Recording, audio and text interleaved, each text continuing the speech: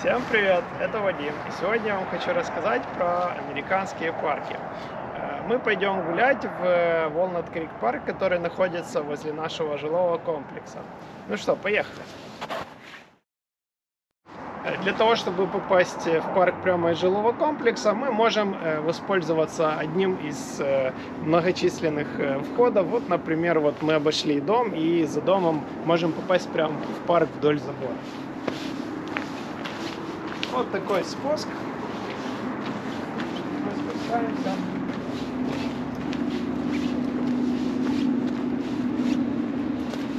Тут аккуратнее ветка. Еще одна ветка. Еще ветка.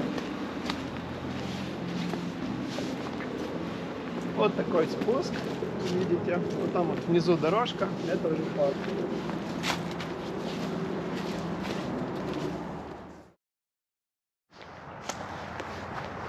Вот мы такие вошли в парк, и прямо вот здесь посреди парка идет такая э, бетонная дорожка. Э, Все дорожки в парках здесь называются трейлы. По-нашему это тропы. Вот, и в этом парке трейл такой большой. Вот видите, что здесь э, э, гуляет много людей. Очень многие здесь выходят по, походить, побегать. Вот, и здесь парки пересекаются вот такими парк этот деревянными мостами. Вот, ну, сни- снизу с мостов э, видно вот эту речку э, Walnut Creek. Вот видите, тут вода сейчас очень чистая, э, тут даже часто рыба водится. Э, Но летом, когда засуха, речка практически пересыхает и воды нет. Так как сейчас э, периодически идут дожди, то э, вода, воды довольно-таки нормально в речке. Вот и видите, как ходят люди, гуляют. Э, Практически никто не в масках. Вот много велосипедистов. Этот парк очень популярный среди велосипедистов, так как здесь вот такая широкая бетонная дорожка. Вот, видите, велосипедисты проезжают. Вот, а мы сейчас с вами пойдем на полянку с лавочками. Поехали.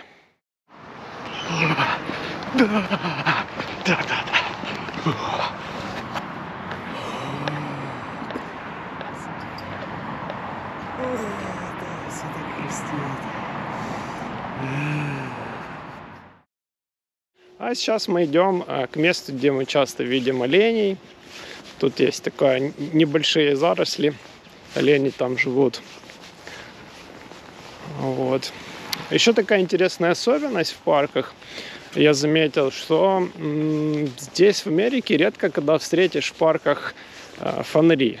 Освещения практически нет нигде, и когда садится солнце и, и ночь, э, то ты можешь только с фонариком гулять в парке. А, Ну, есть несколько мнений.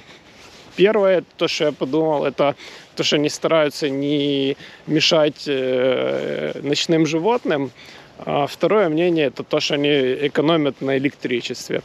А как вы думаете, вот, может, вы встречались, э, может, вы у вас есть информация по этому поводу, может, вы знаете, почему именно в Америке в парках э, нет фонарей, столбов с освещением. Вот, напишите в комментариях, будет интересно почитать об этом.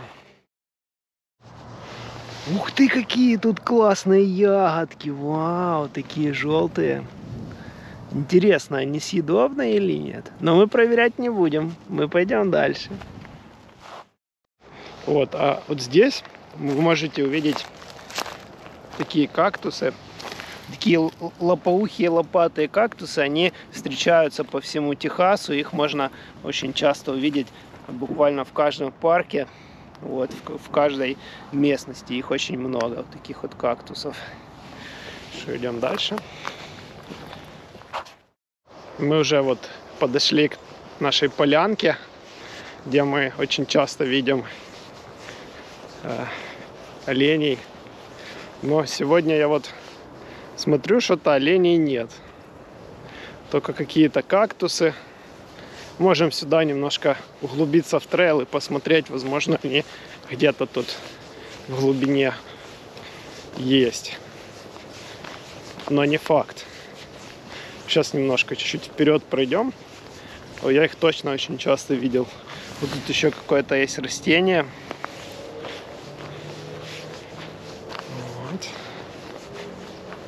Вот тут какие-то птички летают. Тут в парке довольно грязно, потому что в нашем парке живет очень много бомжей. Вот очень красиво так свет падает на кактусы. Реально прикольные кактусы. Я их здесь в Америке первый раз увидел. До этого никогда таких не видел. В моем понимании кактусы были это такие больше как э, такие высокие, как в мультиках, такие, которые вот э, в Аризоне на всяких э, плакатах показывают их. Вот, а таких лопоуких кактусов я раньше не встречал. Так, ну, вот кто-то развалил какой-то дом или просто досок принес на костер. Тут пахнет канализацией.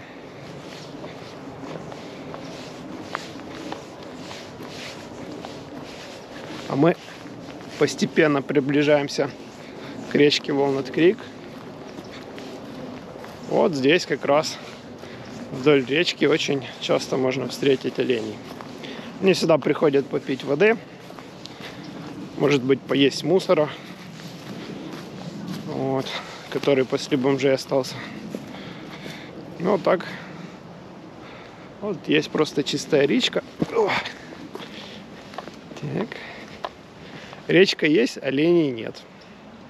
А, иногда еще я тут а, в воде иногда вижу змей. Ну, раза два или три видел таких черных змей водяных. Но сейчас, видимо, не сезон, они куда-то, наверное, в спячку упали, ушли. Вот такой обзорчик, такой парк. Так. Такая речка. Волнат Крик. Довольно красиво. Ну что, пойдем дальше. Так, а мы идем дальше. Прогуливаемся по парку. Вот такой интересный краевид. Вот. Можно пройти немножко дальше.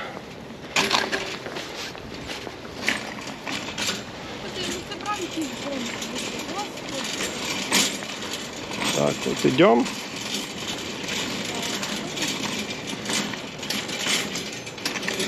Так, оставим, припаркуем тачку здесь. Идем дальше. Тут люди возят своих собачек в таких прикольных тележках. Ну, кстати, некоторые люди к собакам лучше, чем к людям относятся. Не знаю. Ну, тут э, собаки это как часть культуры. Тут очень pet-friendly э, комьюнити. Очень дружелюбные и э, любящие животных люди. Э, это, в принципе, очень реально круто. Потому что э, животных надо любить. Они это часть природы, часть нашего мира. И к животным надо относиться с уважением и к соотве- соответствующей любовью. Что, в принципе, э, люди здесь, в Техасе, и делают. Да и, в принципе, во всех штатах э, люди очень э, воспитываются с любовью к животным. Намного лучше относятся к животным, чем в Украине. Это факт. Вот очередная порция людей, любящих собак – вот они идут к нам навстречу. Тут собачки довольно милые, ухоженные все. Вот. Ай. Люди очень дружелюбные, здороваются.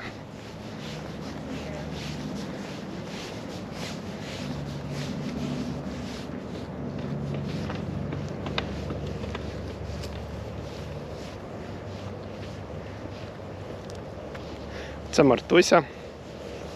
Вона теж гуляє в парку.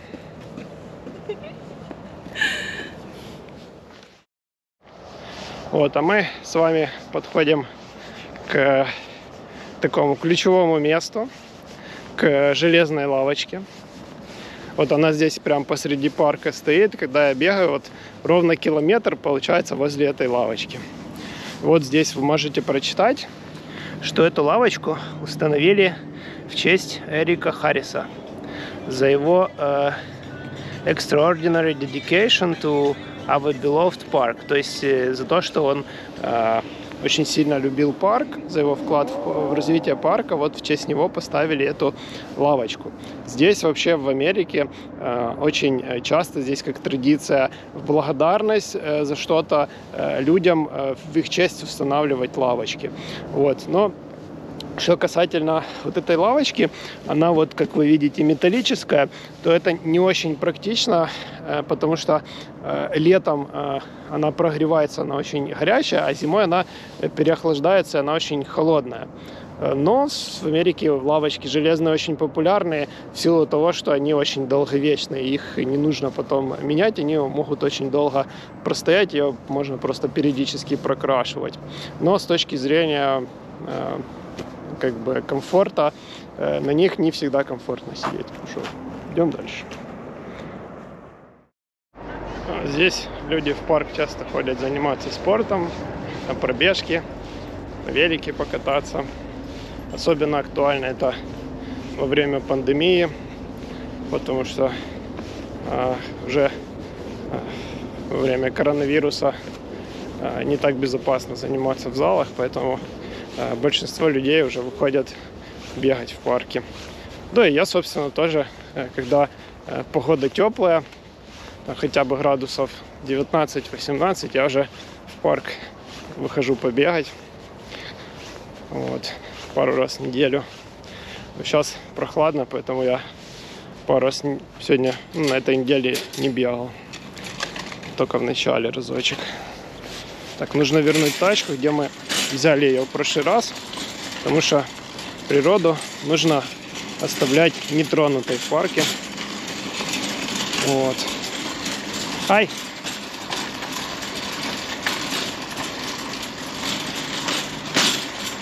Кстати, надо сегодня огурцов купить. Вот, оливье заправить огурцами свежими. Вот.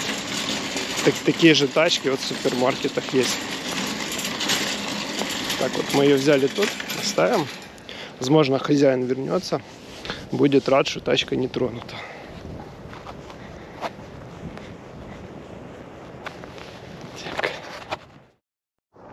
А вот эта тропинка, это вот дорога Костин комьюнити колледжу. То есть, если вы э, гуляли в, парке и вам вдруг захотелось в колледж, вот, э, или вам нужно учиться, то вы можете про, по этой тропинке вот так вот, вот туда пройти за пару минут, прям вот в колледже будете за теми деревьями.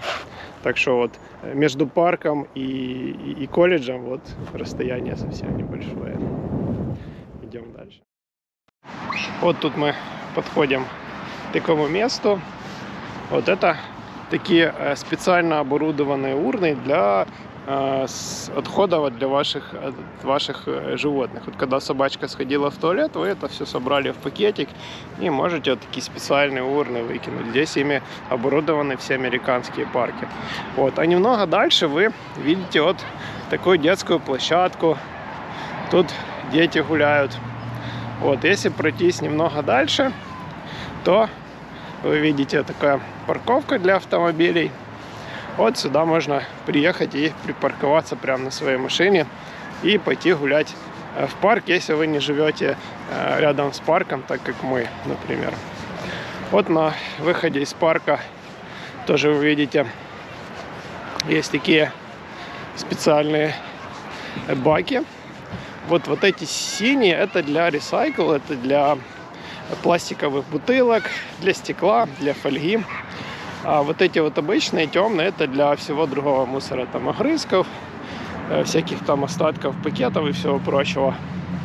Вот. И еще в каждом парке есть вот такие вот э, пикник-зоны со столами, вот, где вы можете приехать со своей едой, э, разложиться, поставить э, свою еду, покушать, сделать такой пикничок в парке. Он люди тоже играют, кидают что-то оранжевое, какая-то оранжевая штука, я не знаю, как называется эта игра. Вот. Вот такой парк. Он уже здесь более многолюдный. Здесь много таких пикник-столов, оборудованная пикник-зона. Вот, в общем, парк прикольный, он очень популярный. И здесь очень много постоянно людей гуляет. Вот. И сейчас мы пойдем, я вам покажу такую небольшую красную беседочку. И мы уже будем заканчивать наш обзор. Мы с вами подходим от такой прикольной красной деревянной беседочки. Вот, и там уже кто-то сидит. Э, к сожалению, наше видео подходит к концу. Сегодня мы с вами гуляли э, в Walnut э, Creek парке. Спасибо всем, кто посмотрел мое видео. Пишите в комментариях, если вы хотите, чтобы я еще снял обзоры про другие парки в Техасе, в осени, здесь в США. Вот, буду признателен за любую обратную связь. Спасибо, с вами был Вадим. Пока. Вот это дорога, которой мы идем обратно домой с парка. Летом она обычно очень заросшая травой. И здесь стрёмно ходить, потому что э, боишься, что может где-то змея выскочить. І куди ти йдеш, сонечко? Нам туди. Да, От якби не я, то Мартуся б знову заблукала і пішла кудись в сторону Ламара. Або Пармер Лейна. Прийшла би тільки завтра. Да, і прийшлось би її шукати потім. Непонятно де. Ключі відомо тільки у мене. Так. Тільки в тебе, тільки тебе й шукай де. От такой у нас суперсекюрний комплекс. Невозможно в него пробраться. Такой забор высокий, такой невероятный, двухметровый. Вот. Главное, никому не рассказывать секрет, что немножко дальше забора нет. И вы можете вот так вот просто взять и зайти прямо с парка. Да, Мартусь?